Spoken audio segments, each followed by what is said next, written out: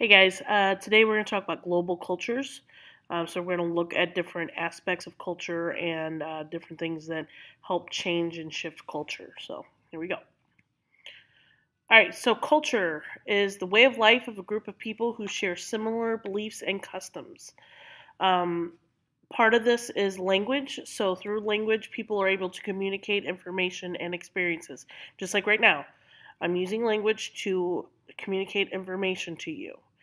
Um, language is also used to pass on cultural values and traditions. And then within cultures, there are language differences. So, like if you go down to the South, or if you go to um, California or somewhere else, um, they might speak a different dialect. Okay, so that's a local form of a language. So, for example, we have lots of different words for soda. Okay, so in in this area we say soda, but in my my cousins they live in Ohio and they call it pop. Okay, so th- those are different dialects. Um, they also have different pronunciations of, of words. Okay, um, languages are organized into what are called language families. Okay, so language families are large group of languages that have really similar roots. So, for example, Romance languages would be um, like Italian, Spanish, or French would be considered Romance languages because they're all derived from Latin. Now, English and like German, these are called Germanic languages. Okay, so they're derived from the Germanic peoples. Okay, so this right here shows the major languages that are spoken throughout the world. Um, English obviously is pretty prevalent, and a lot of that had to do with the British colonizing much of the world. Uh, Spanish obviously is pretty prevalent, so we see a lot of Spanish in uh, Latin America here, and then over here in Spain, a little bit in in Africa. Um, so a lot of it is European languages, as you can see, um, but it's that's a lot has a lot to do with the fact that Europeans went out and conquered a, a lot of different places. Um, but you can see like big Arabic. This is you know where Islam primarily is. Russian obviously is huge. Chinese is huge. So there's quite a bit of, of languages throughout. Uh, religion. So religious beliefs vary significantly around the world.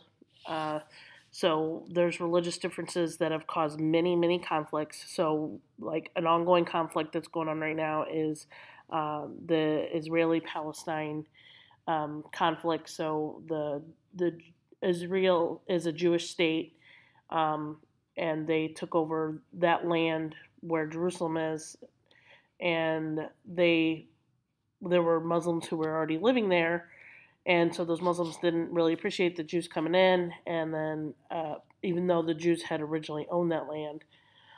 Anyway, uh, so they're still fighting battles about that. That's going to be an ongoing thing for a while, I have a feeling. Um, but religion does enable people to find a sense of identity. So through religion, this is where we get our moral values. So, for example, with Christianity, they have the Ten Commandments okay, um, that, that sets rules that you should live by. Uh, you also celebrate holidays and festivals. Okay, so there's all kinds of different holidays, like with Christianity, for example, you have Christmas, you have Easter.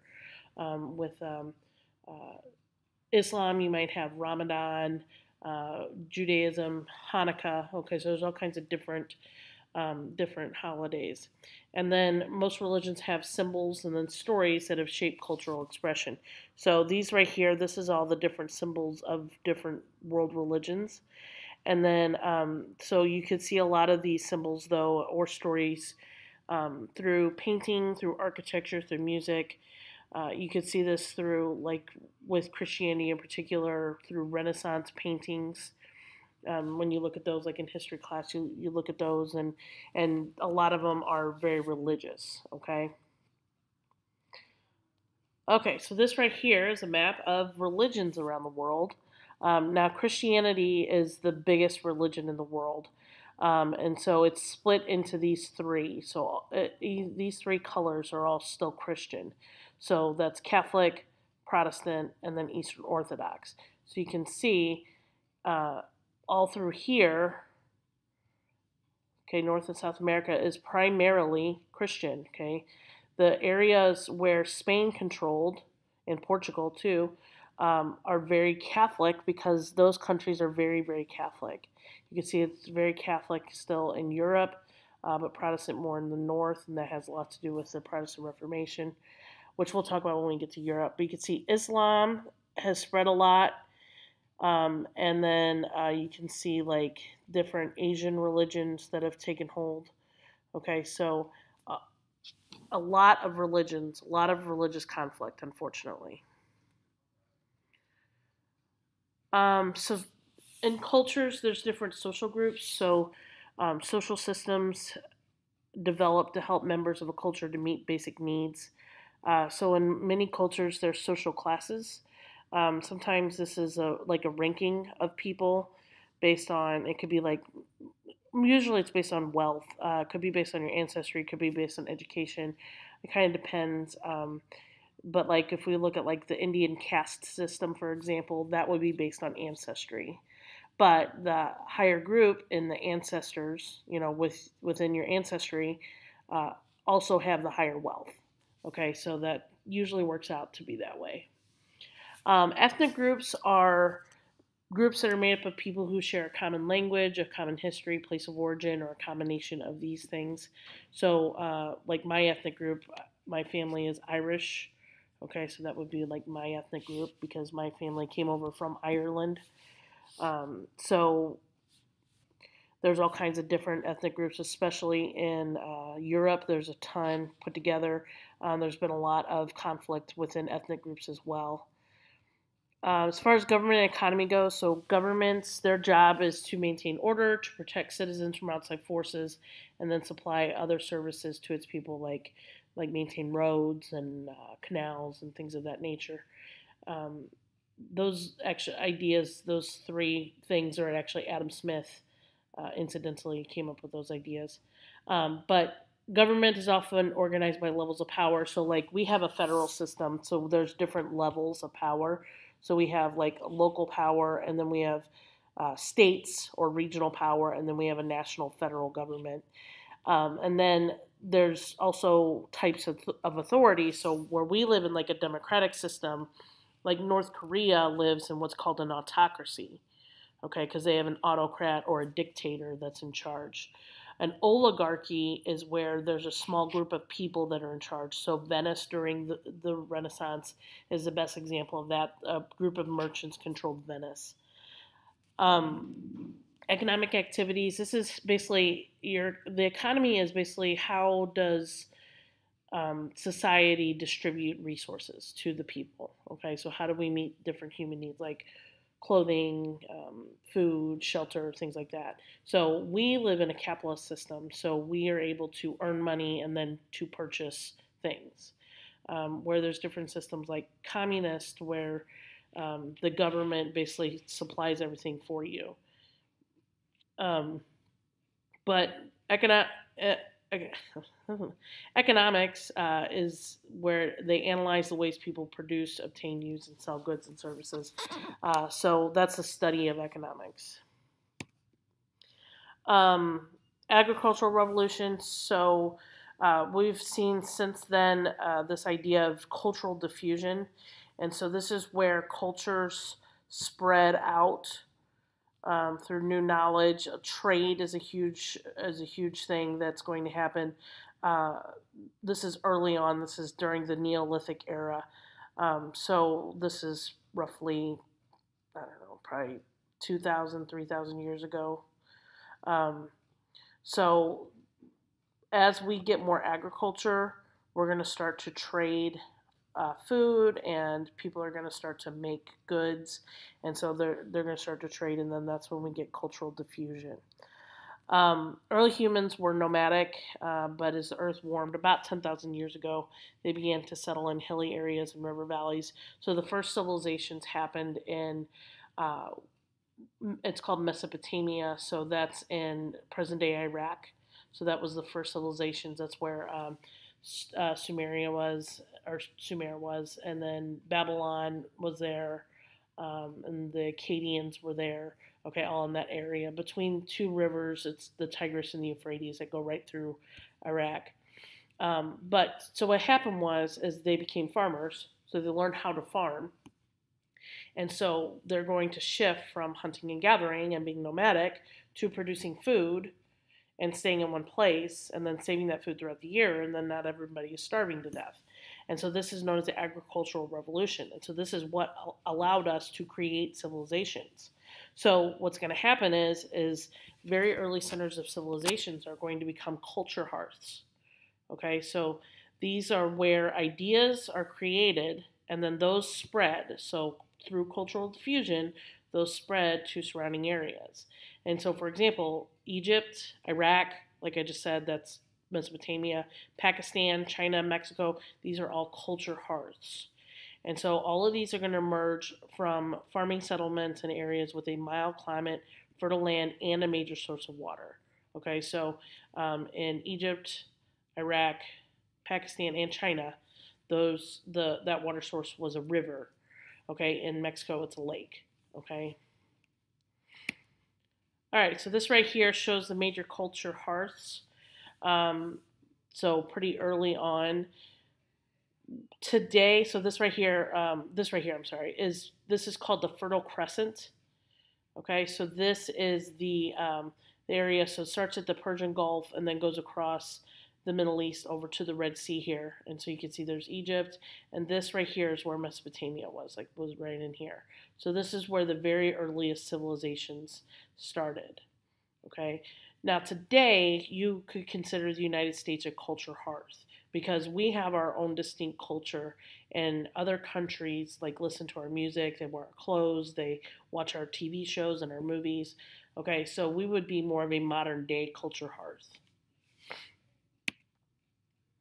Okay, so surplus food is going to lead eventually to the rise of cities. So more and more people are going to gather and they're going to create cities. So there's not going to be as much need for farmers because more and more they're going to uh, change technologies and that's going to help farming to become easier so people don't have to just farm.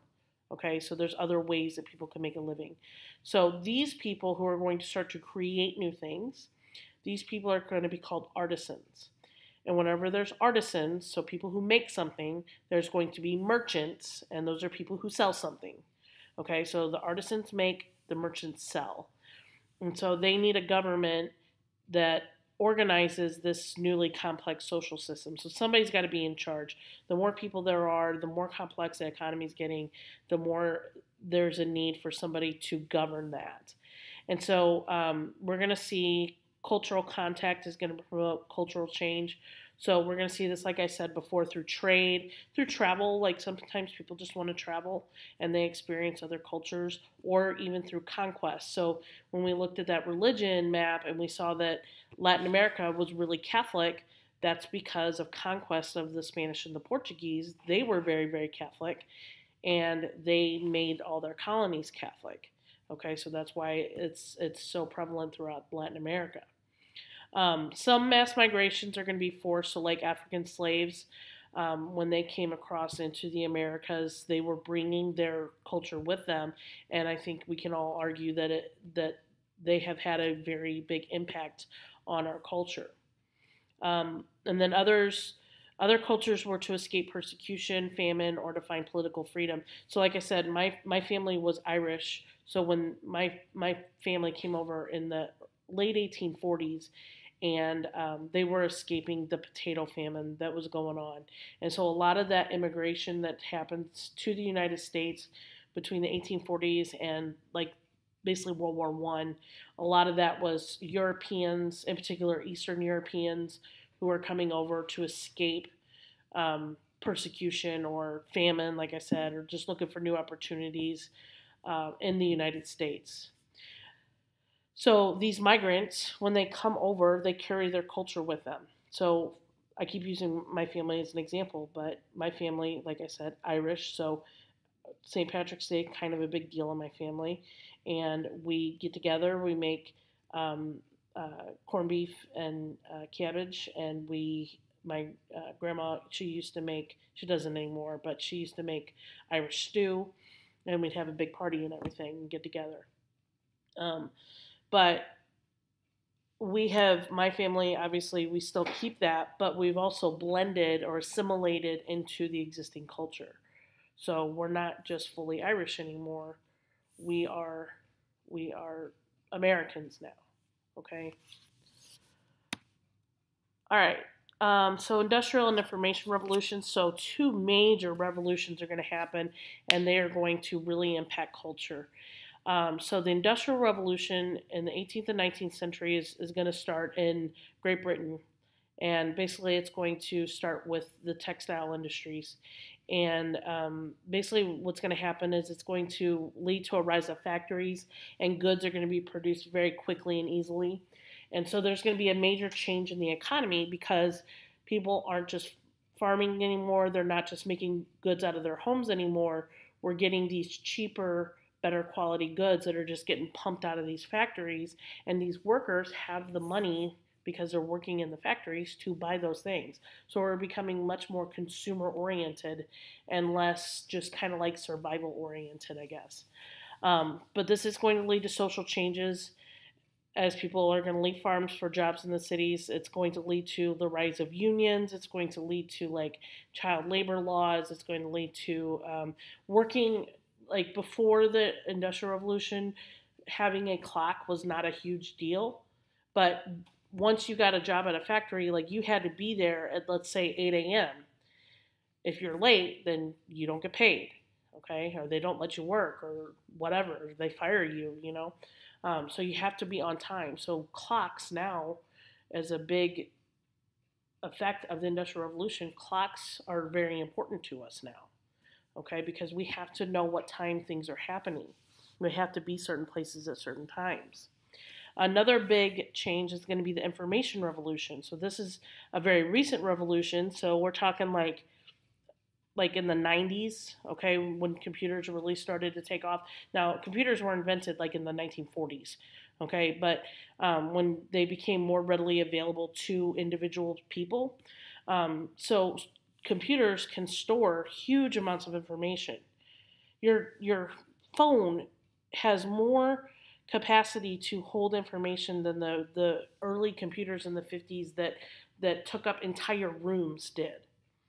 And we have we have access to information just at the tip of our fingers now. It's incredibly insane. The fact that we can I can just pick up my phone and I can call Tokyo and I can can talk to somebody in Japan at the blink of an eye is absolutely insane. So this uh, through social media, through through like being able to call people, all this stuff has really dramatically changed our culture, and you can see this um, just in class every day. When you walk in. You know, people have a certain way that they speak, and they you know things that they picked up on the internet. Everybody's always like looking at memes on their phone and then they see a funny one they got to show their friend.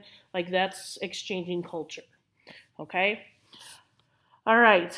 Um, that's it. That's all i got for today. Um, don't forget to finish your processor so it's the acrostic. Make sure you write in complete sentences okay? It has to have information from the notes. Have a good day